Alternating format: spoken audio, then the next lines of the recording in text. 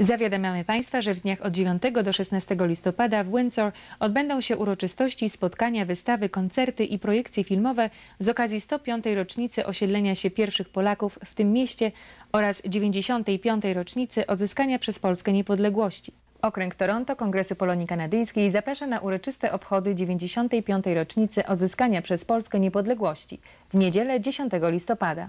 O godzinie 11 w kościele świętego Stanisława przy ulicy Denison odprawiona zostanie msza święta w intencji ojczyzny. Po mszy nastąpi przemarsz pod ratusz torontoński, gdzie odbędą się oficjalne uroczystości i podniesienie na maszt polskiej flagi. Również w niedzielę 10 listopada obchody Święta Niepodległości organizuje okręg Mississauga KPK. O godzinie 11 w kościele świętego Maksymiliana Kolbe odprawiona zostanie msza święta w intencji ojczyzny. Po mszy świętej jej uczestnicy procesją przejdą pod pomnik patrioty znajdujący się obok Centrum Kultury imienia Jana Pawła II, gdzie odbędzie się uroczystość podniesienia na maszt polskiej flagi oraz złożenie wieńców. Teatr Centrum zaprasza na komediofarsę Zygmunta Przybylskiego Wicek i Wacek albo Jakoś to będzie w niedzielę 10 listopada o godzinie 16 w Centrum Kultury imienia Jana Pawła II w Mississadze.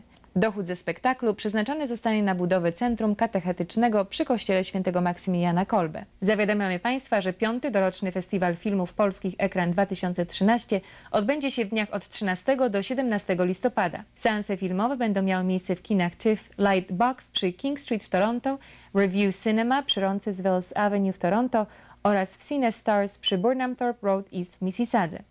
Podczas kilku projekcji obecni będą goście z Polski, reżyserzy, aktorzy, scenarzysta i kompozytor współpracujący przy produkcji tych filmów. Katedra Polonistyki na Uniwersytecie Torontońskim oraz organizatorzy Festiwalu Filmów Polskich Ekran 2013 zapraszają na spotkania z reżyserami dwóch filmów prezentowanych na festiwalu.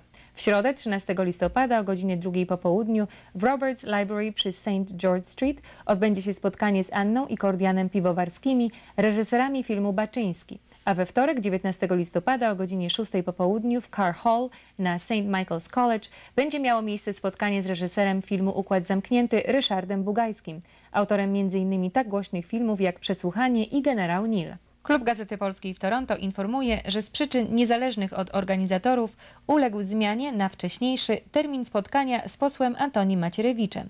Spotkanie odbędzie się w piątek 15 listopada o godzinie 19.30, a nie jak uprzednio informowaliśmy w poniedziałek 18 listopada w sali SPK przy 206 Beverly Street w Toronto. Wstęp wolne datki.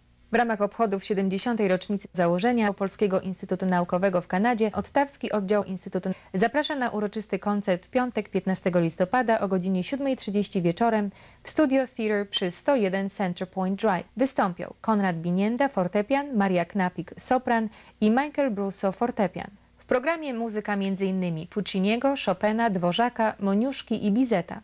Z okazji swego jubileuszu Ottawski Oddział Polskiego Instytutu Naukowego zaprasza również na pierwszy sympozjum organizowany ku pamięci zmarłego 40 lat temu wybitnego historyka Oskara Haleckiego w sobotę 16 listopada w godzinach od 9 rano do 5 po południu w amfiteatrze na Uniwersytecie Świętego Pawła przy 223 Main Street. Parafia świętego Maksymiliana Kolbe w Mississadze w roku jubileuszowym zaprasza na sympozjum pod tytułem Współcześni Polacy, ich tożsamość i znaczenie dla świata, poświęcony dwóm wielkim Polakom, świętemu Maksymilianowi Kolbe i błogosławionemu Janowi Pawłowi II. Wszystkie odczyty odbędą się w sali parafialnej kościoła świętego Maksymiliana Kolbe. Korpus Pomocniczy Domu Kopernika zaprasza na świąteczny bazar w sobotę 16 listopada w godzinach od 9 do 14. Wyroby rękodzieła artystycznego, biżuteria, książki i zabawki oraz wypieki domowe, gorące dania, kawa, herbata i pączki. Loteria. Dochód z bazaru zostanie przeznaczony na potrzeby naszych seniorów. Z okazji 85. rocznicy swego założenia Stowarzyszenie Polsko-Kanadyjskie w St. Catharines zaprasza na uroczysty bankiet w sobotę 16 listopada o godzinie 6.30 wieczorem w sali Stowarzyszenia przy skrzyżowaniu ulic Facer i Concord. Do tańca gra zespół Polanie. Obchodzące swe 30-lecie szczepy Wieliczka i Wigry Związku Harcerstwa Polskiego w Kanadzie oraz Koło Przyjaciół Harcerstwa Mississauga zapraszają na niepowtarzalny wieczór, bankiet perłowy w sobotę 16 listopada w Centrum Kultury imienia Jana Pawła II w Mississadze. Do tańca gra zespół Polton. Wykwintna kolacja z winem serwowana przez Ella Catering. Katolickie Studio Młodych zaprasza na 24. Festiwal Piosenki Religijnej w dniach 23 i 24 listopada w Centrum Kultury imienia Jana Pawła II w Mississadze.